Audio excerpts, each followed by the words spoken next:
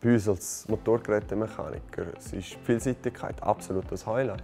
Dadurch, dass wir auch den Wehrdienstverband oder die Feuerwehr im Dorf betreuen, materialtechnisch und so alles unterhalten, dann die ganze Gerätschaft und Fahrzeuge der Gemeinde und auch die abwechslungsreiche und vielseitige Arbeit auch beim EKS. Was Konstruktionen anbelangt, in jensten Bereichen für Trafo und und und. Und die flexible Arbeitszeit ist bei uns absolut das Highlight. Äh, die Schule ist ganz ein wichtiger Punkt bei uns, sie ist auch sehr anspruchsvoll.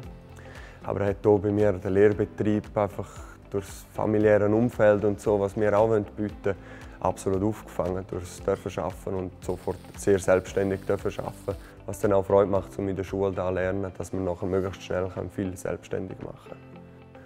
Ja, Freude, Begeisterung die weitergehen der Lernenden und auch, dass der Lernende einen Marktwert hat außen in der Arbeitswelt nach der Ausbildung, dass er einfach mit Begeisterung auch die Mami die Waschmaschine flickt oder ein Papi einen Töpfer flicken oder einen Rasenmeier oder was auch immer.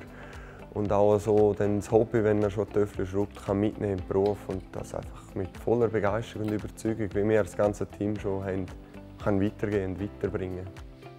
Was uns sehr wichtig ist, ist der, der Zusammenhalt im Team. Also effektiv, wir sind das Team und klar, gewisse Strukturen haben wir auch und Hierarchien, aber ganz klar das Familiäre und das Miteinander vorwärts kommen und auch mal über den Tellerrand ausschauen und mehr sehen, was einem weiterbringt, auch für die Zukunft.